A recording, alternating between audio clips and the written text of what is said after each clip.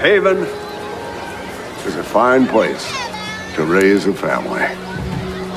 But you and I know it is chock full of the ungodly. This man's pretty dead. Tends not to change much.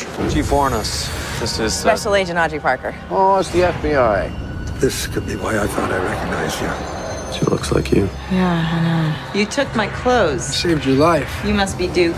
Well, is this one of those situations where you're here claiming to help, but you're really just here to step on my toes?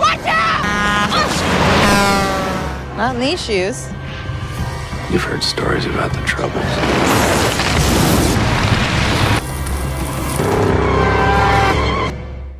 The troubles are back, aren't they? Yeah, I think so. There are two different havens. There's the one that's right beneath the surface, and then there's the one right underneath that. Sounds like every town.